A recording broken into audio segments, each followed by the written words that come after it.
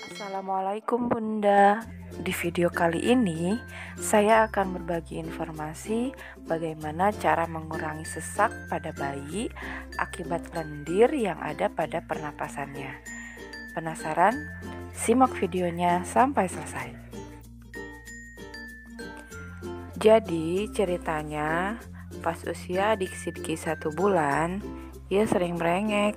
Sepertinya sih napasnya agak sedikit sesak karena terlihat napasnya lebih cepat dari biasanya.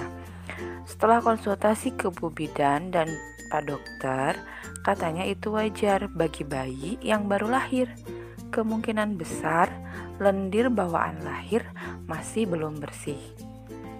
Tapi itu masih normal ya selama tidak disertai panas atau demam flu dan juga batuk.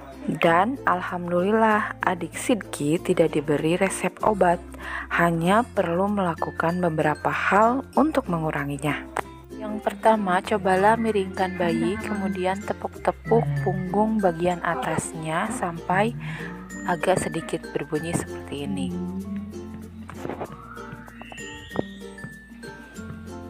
Ingat ya, punggung bagian atas, bukan punggung bagian bawahnya. Boleh juga dilakukan di dada bagian atasnya seperti ini.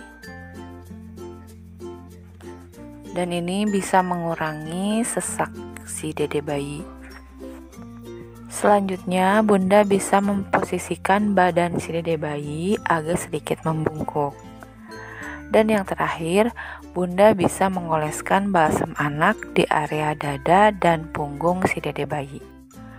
Nah, itu dia beberapa hal yang bisa mengurangi sesak desidki. Semoga bisa bermanfaat ya bagi Bunda yang sedang mengalami hal yang sama seperti yang saya alami.